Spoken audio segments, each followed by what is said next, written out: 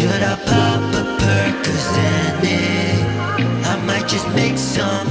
Throw 'em all down into my lean. You ain't treat me the same for now. You've been giving me pain for some time now. Don't try putting the blame